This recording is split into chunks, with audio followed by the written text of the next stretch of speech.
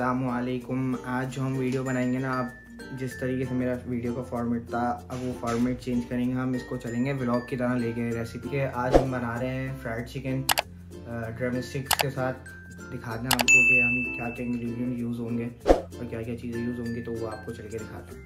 तो ये हमारे इंग्रेडिएंट्स हैं, जिसके अंदर ये औरिगानो है, ये अपना थाइम है, ये बेसिल लीव्स हैं और ये पार्सले है। स्पाइसेस के अंदर salt pepper black pepper paprika garlic powder और क्या कहते तो ये है कि अगर आपको थोड़ा स्पाइस रखना तो आप ये यूज़ करें, वरना बस ये है इसकी। साथ साथ अपनी रील्स भी बनाऊँगा इंस्टाग्राम वगैरह के लिए और यूट्यूब वगैरह के लिए। वीडियो भी बनती रहेगी और रील्स भी बनती रहेंगी। तो इसके लिए मैं लेकिन ये करूँगा कि अभी मैं आपको बता रहा हूँ कि वन कप मिल्क के अंदर आपने वन टेबल स्पून क्या कहते हैं विनेगर डालना है, जो कि आपका बटर मिल्क बन जाएगा। उसके बाद अपनी, यानी अपनी चिकन के डाल देंगे, यानी। और उसके बाद सारे स्पाइसेस और हर्ब्स वगैरह ऐड कर देंगे तो आपका ये मेरीनेशन हो जाएगी डन ठीक है? तो वो दिखाते हैं। यानी मैं मिक्स करके सारी एडिशन करके दिखा दूँगा, बाकी वो जो सारे स्पाइसेस वगैरह सारी चीज़ें ऐड हो रही हैं, वो यूट्यूब के शॉर्ट्स में और इंस्टाग्राम की रील्स में दिखेंगे तो मैं आपको दिखाता हूँ। तो भाई सीन ये है कि मैंने सारे जो इंग्रेडिएंट्स दिखाए थे आपको, वो मैं मेंशन कर दूँगा डिस्क्रिप्शन के अंदर। वो मैंने ऐड कर दिए बटर मिल्क के पहले बटर मिल्क ऐड किया, उसके बाद सारे स्पाइसेस और मैंने हर्ब्स ऐड कर दिए। ये रहे। ये सारी चीज़ें मैंने मिक्स कर लिया ऐड कर दिया मैं ये मिक्स करूँगा, उसको रिफ्रिजरेट कर दूँगा एक से दो घंटे के लिए।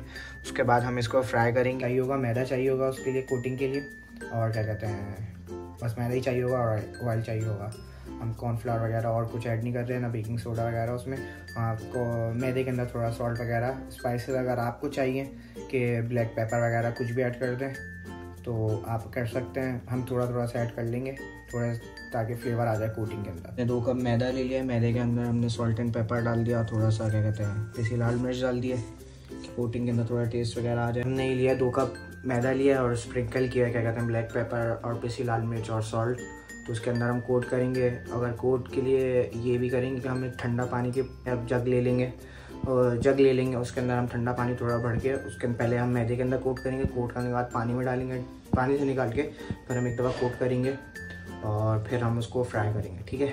तो वो दिखाता हूँ। ये हमारी चिकन ये रहा हमारा मैदा। अब हम ऑयल हमारा इतने गर्म हो रहा है हमने ऑयल डाल दिया है कढ़ाई में। अब हम दिखाते हैं आपको ये। ये ये ये। ये हमारी चिकन आ गई ये हमारा मैदा और आ गया। तो अब हम इसकी कोटिंग करेंगे। कोटिंग कर ली थी मैंने वो अपनी लेग पीस की। इसकी क्रम्बिंग आई है। हाल ऐसी क्रम्बिंग के लिए ना आपको ये ऐसा हमारे सर ने बताया था कि जो हमारे शेफ़ थे उन्होंने बताया था कि आपको मैदे और उस पर खुला हाथ रखना ऑयल पे।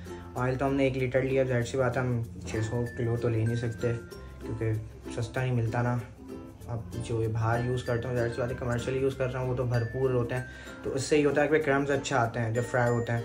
अब हमारे पास हम लोग कम यूज़ करते हैं, उसके अंदर फिर हम डाल देते हैं, वो अच्छे तरीके से पूरे डिप नहीं होते, उसकी वजह से फिर जो इसके क्रम्स होते हैं, वो टूटते हैं। डाल दिए, इसमें देखें, अभी पूरे ने डिप नहीं हुए कढ़ाई, नीचे से गहराई बहुत है वो एक लीटर तेल भी इसमें पता नहीं लग रहा। लेकिन ये है कि अब इसको हम फ़ौरन छेड़ेंगे, नहीं कि क्रम छूटेंगे, इसको अच्छा खासा पकने देंगे, उसके बाद हम इसको तेल कर तो पलटेंगे। तो उसके लिए ये है कि अभी इसको थोड़ी देर पकने देते हैं, पाँच छः मिनट, एक साइड से तो फ़ौरन इसकी, जैसी थोड़ा हमें लग गया, कलर आने लग गया पिछली वाली साइड पर तो हम इसकी साइड चेंज कर देंगे।